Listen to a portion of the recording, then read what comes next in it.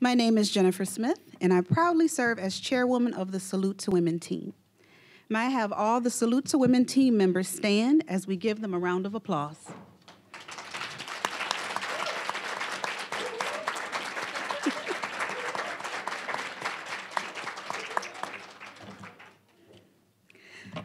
Next, we would like to welcome our provost, Dr. Laura Chesley, Lori, sorry, Lori Chesley to the stage.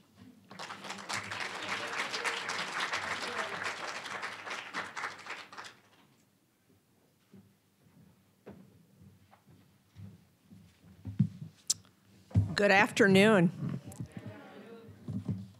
I am here because I love this event, and I am also here because on behalf of President Pink, I want to give you an official GRCC welcome to the 21st annual Salute to Women, one of the best events on this campus.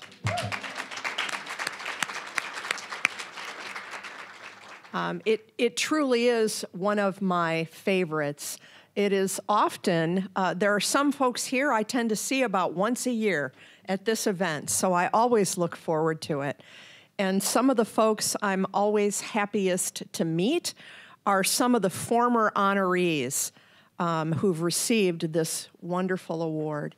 So I want to take a minute and ask anyone out there who is a former honoree, please stand and let us recognize you. I know you are out there. Yes.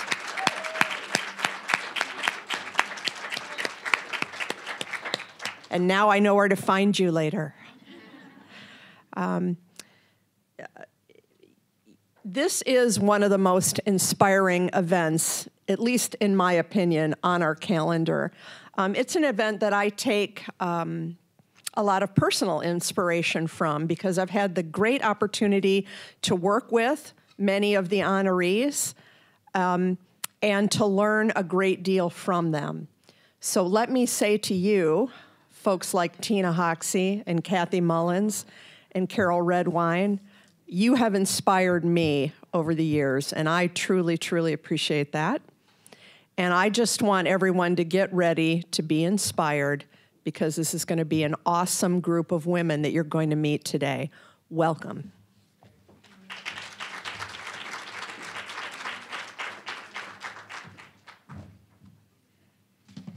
As our new Chief Equity and Inclusion Officer, Dr. B. Afeni McNeely Cobham, makes her way to the podium, I would like to recognize any previous or current Board of Trustee members.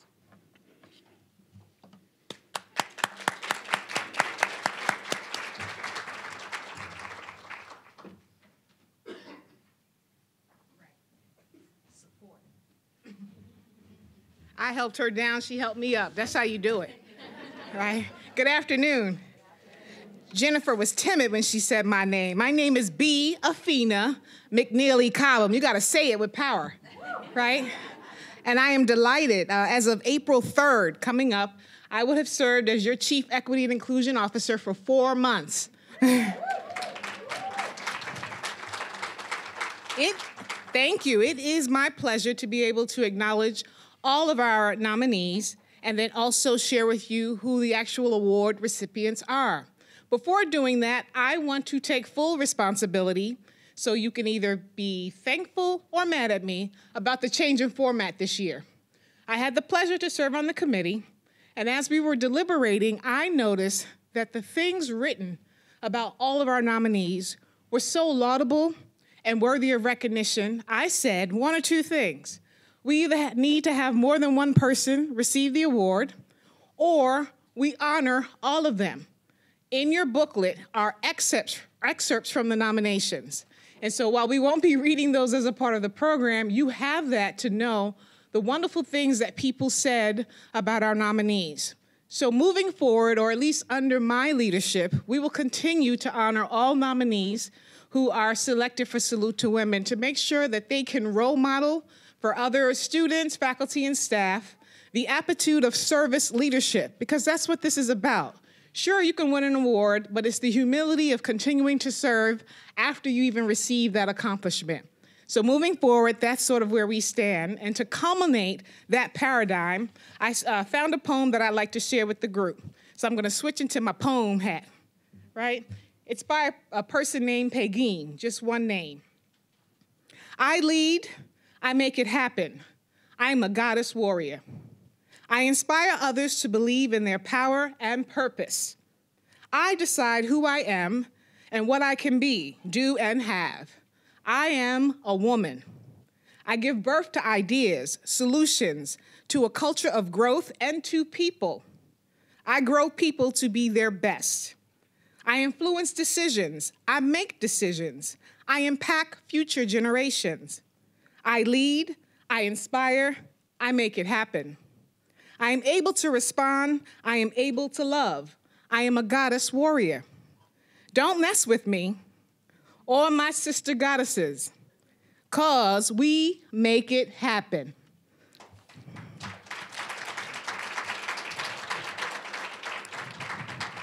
On behalf of the 2019 Selection Committee, we salute all our nominees, and I'm going to ask each one of them to stand one by one and ask that you hold your applause until everyone is standing who was present at today's ceremony. Miss Sarah Brooks, Miss Carrie Davis, hold your applause. this is like graduation, uh-oh. Sonia M. Hernandez, working on my R's. Luba Patrash,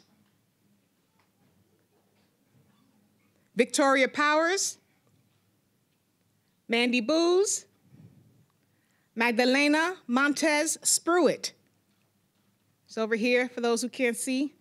Leslie Boss, Stephanie Mendez Ortega,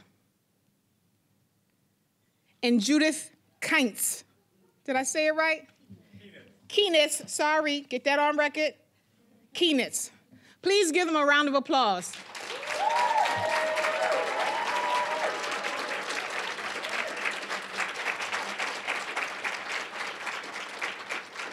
Thank you. You may be seated. In moving the program along, Jennifer, please help me.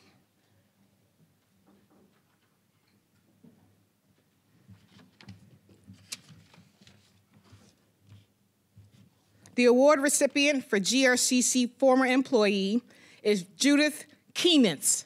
Anyone here to represent her?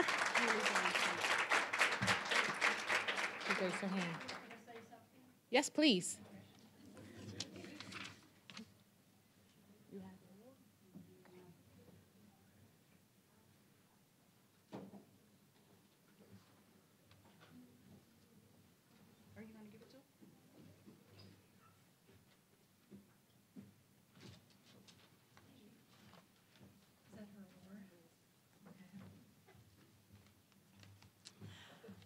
Obviously, I'm not Judith Keenitz, but I did nominate her. And due to um, personal issues, she is not here today. But I'm representing her, and I thought I would give you a few comments as to why I represented her. I was very pleased to do that. She was an exemplary teacher in the liberal arts department Above all, her students' learning and success were foremost in her teaching career. She began her career at Grand Rapids Community College, which was then, of course, Grand Rapids, Grand Rapids Junior College, by establishing the Handicapped Learning Center as her first assignment when she came here in 1977. An appropriate assignment for her for her caring for all students. She established many services and many programs uh, during her four years in that assignment. She then joined the faculty in the language arts department as a dean in two different areas. I never received any bad praise, only praise for Judith. As I earlier stated, her students were her passion.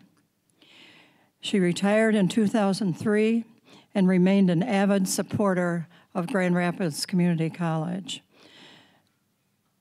She remained she was a mentor to many women and encouraged them to follow their dreams and sometimes take risk. Janet Pache, uh, the uh, chair of the Language Arts Department, highly supports Judith's recommendation. She was very capable in her primary concern and passion for her students. She also found many new ways to motivate them and to assist them in whatever their needs may be. Marceletta, who is a current faculty, also highly recommended Judith for this award. She was a caring person and always went the extra mile to be sure her students were successful. She was an innovative professor and could make learning interesting and fun. She was always available for her students. Her female students often sought her out for advice, and I thought that was something nice to be mentioned since we're doing the Salute to Women, that she was a very positive role model for women. Um, thank you, and I'm very pleased to nominate Judith Keenitz.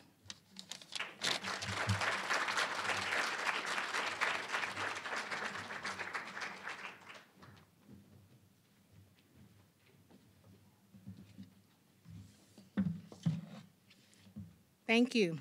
The recipient of the GRCC Student Award goes to Leslie Boss.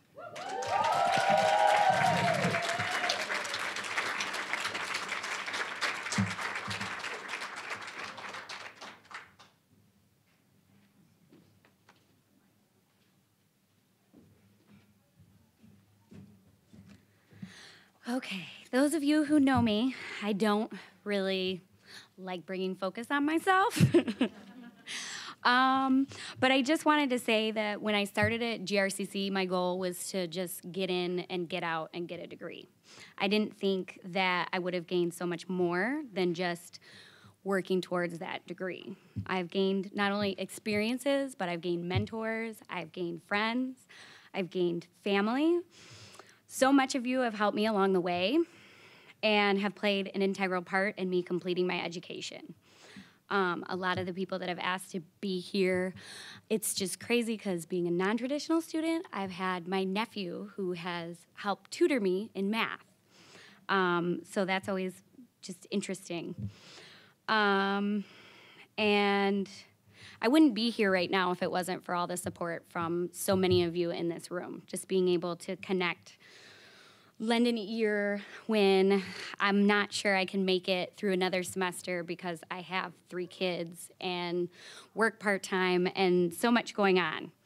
But um, thank you to the committee who chose me and everybody, my friends and family, and my husband who's been a good support in helping take care of the kids, and my two kids that are here, and my one that didn't make it. So, thank you.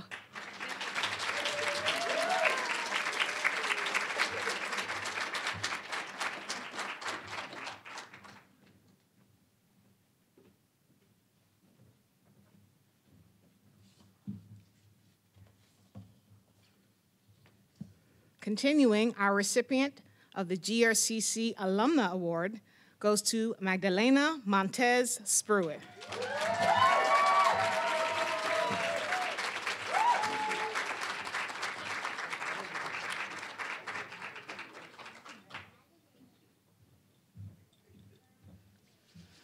Already. I didn't plan a speech. I'm just really honored that um, that um, I was even nominated for this. So um, I, I'm not one to speak either, but um, I'm really honored that I was nominated for this. I really enjoy my job. This has been the best job that I've ever had all my life. Um, I really, truly enjoy coming to school and working with all the students. The best part is um, when they move forward and they come back and tell us their stories on where they're where they're going and where they've been. Um, and some of them let us know that we got them there, that we helped them along. Um, Leslie is one of our trio students, and um, I'm very happy. She also got selected to go study abroad at the Netherlands. Um, so I think that our group is really doing great, and I don't see this just for myself, an award for myself. I see this as an award for my whole team. Um, most of us are all women. Uh, Fred Zomer just um, joined the trio program, but he is part of our team as well. So this is this award is for him as well too. So not just for me, it's for all of our group. But I'm really honored that um, that I made it this far. So thank you.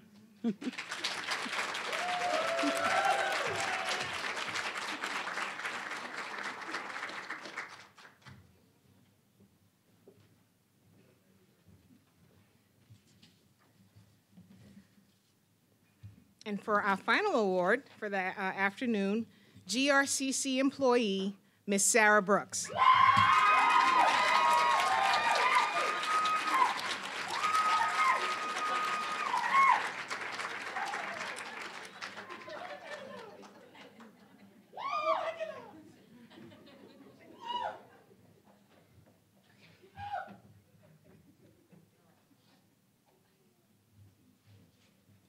Promised her she could come up here. oh, well. So uh, a few weeks ago, my dad asked me if I had written my speech, and I was like, I don't think I'm gonna win. And he was like, You better write that speech. So here it is. So I was raised in a Baptist home where I was taught about integrity and taught that everything I do should be done as unto God. So I've lived out that mantra in my professional career. I do not work hard for accolades, but I do enjoy them. Um, I work hard to make a lasting impact on the people who I encounter as a human developer. And um, so when I think back over my life, I can name many people who taught me, um, loved me, supported me, or even offered me valuable life lessons that didn't always feel so good. Um, and I'm thankful to be a chosen vessel to develop other human beings. Um, an idea that really is quite scary for me at times because I know how much of a mess I am behind this smile. So I would like to thank the people who nominated me for this award. I, I, think she's had enough. Okay. I'd like to thank the people who nominated me for this award, my student mentees, Elijah Lewis and Kamaya Gori, um, who both sat through a semester of my classes and decided that that wasn't enough, they needed more of me. Um, I'd like to thank my husband, who is supportive of all of my professional aspirations and who is quite okay with holding up our family while I'm out doing community events, meetings, and running around doing all this other stuff. Um, thank you, babe. I'd like to thank my parents who are not here, my father and my bonus mom who taught me um, a great work ethic and hammered home integrity and doing what is right. Um, and my late mother who taught me how to be a rebel with a cause. I think I'm a good mix of the both. Um, I would like to thank my elementary school principal, Merle Smith, because you know this is going on social media. Um, look him up, look him up. Um, for being such an extraordinary educator, leader, and person. He's the one who cemented the idea that college wasn't an option for me. Um, he guided my trajectory for leadership and um, kept his promise from the sixth grade that if I was going to go to college, he would provide a scholarship for me. Um, and he planted the seed that is now the cornerstone of my work this belief that all students can achieve. So I'd like to thank my colleagues who have helped shape who I am professionally, who have taken risks for me, who have supported my growth, and um, allowed me to participate in professional development opportunities. Um, and just as importantly, my village and support system of friends, sisters of Alpha Kappa Alpha Sorority Incorporated, and my family. I am a transplant, and so I had to build my village here. Thank you. I am honored to be named among my colleagues, and more importantly, to have my work and efforts recognized. This is affirmation that my work is purposeful. Um, so thank you to the Woodrick Center for Equity and Inclusion and for, the, um, for this award, and thank you to the selection committee.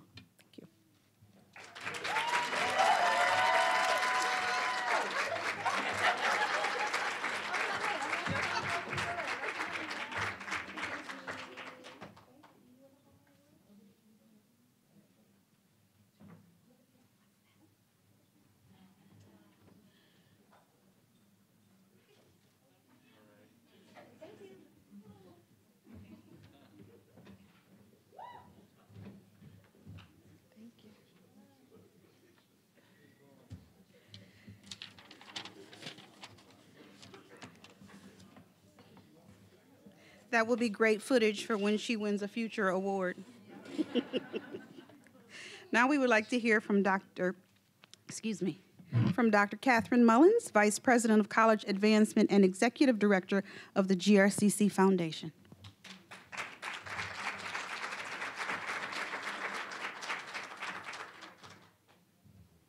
Good afternoon.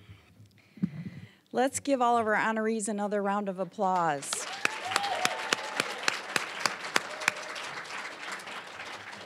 Today we've had the distinct pleasure of honoring an amazing group of women. They're strong, brilliant, and beautiful. And I am so grateful to be part of today's celebration. It was Jane Goodall who said, What you do makes a difference, and you have to decide what kind of difference you want to make. Today's honorees and recipients have obviously made their decisions on what kind of difference they will make in our world and in our community. And our world is a better place for each and every one of these women. As the executive director of the GRCC Foundation, I am here today to make an important ask of each and every one of you. I am asking that you financially support and encourage women at GRCC. I know that if we as a community are going to encourage future female leaders, we must come together to support women in their quest for higher education. The easiest way for everyone in this room to do that is to make a donation to the GRCC Foundation in, in support of scholarships. This is a quote from Jennifer Buffett that truly hits home for me as to why your philanthropic support of scholarships is critical. The most radical way to advance meaningful change is to shift economic, social, and cultural power to those who don't have it. And that is why I support the advancement of education of women.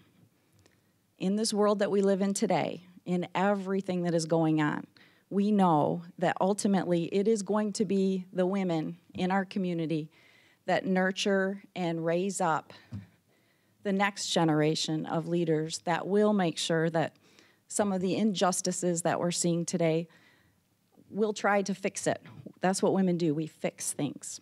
And so I am asking you today to please donate to scholarships um, at GRCC through the Salute to Women Scholarship.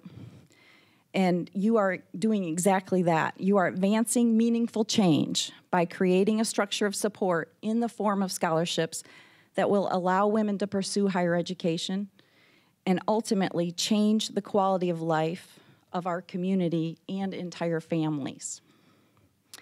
Scholarships remove financial barriers that often stand in the way as women pursue higher education.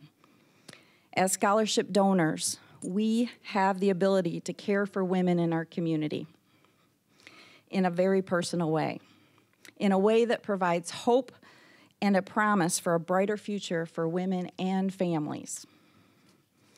If you have been moved as much as I have today by the impact that GRCC has made in the lives of these women, and in, the turn, and in turn, the impact these women have made in our community and will continue to make in our community, I ask that you donate to the Salute to Women Scholarship Fund. The power of meaningful change lays right there on your individual tables in the form of a donation envelope. Please take a minute to fill out the envelope and make a donation if you see fit. We will be collecting those envelopes at the end of today's at the end of today's program and we thank you in advance for your support of the work that we do here at GRCC and of the, the women that are in this room. Sarah indicated she had someone, she had an elementary principal commit to a scholarship for her, knowing that that is how important women are in our community, and educated women will raise us all up. So please um, make a donation today, and thank you so much for being here in support of this wonderful program and these wonderful women. Have a good afternoon.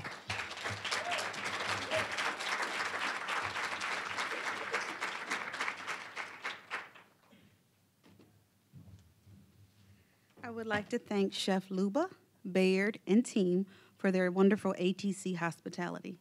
Let's give one more.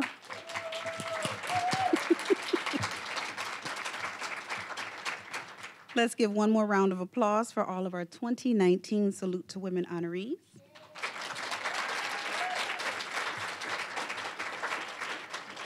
We ask that you continue to enjoy the reception. There are food on both sides of the rooms. We will ask all honorees to come up to the stage for photo ops.